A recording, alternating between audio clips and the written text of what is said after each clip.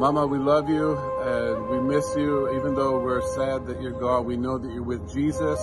You're with you're with Papa in heaven. Uh, we will always love you. We'll always remember you with all of our hearts. We love you. My favorite memory with Nana was when we went to the sunflower garden and she came for like a month, a month kind of. And I just really like that because she was also like uh, and Mama Ellen. So that's my favorite memory.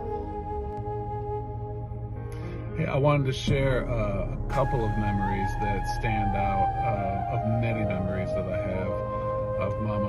Uh, one is when I was first in Jayapura and Rosie and I were shopping for engagement or wedding rings. Um, that that was a that was a fun day. Uh, secondly, is this shirt.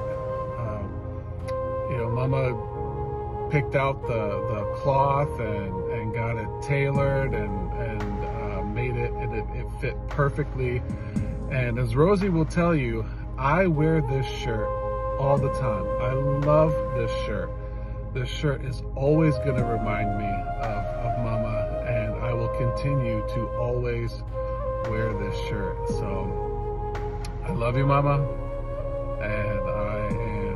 sad, but I am also so happy that you are in